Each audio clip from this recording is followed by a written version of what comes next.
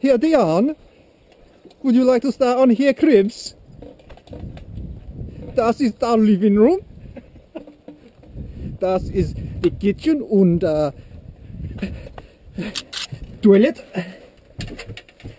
Mind und Head.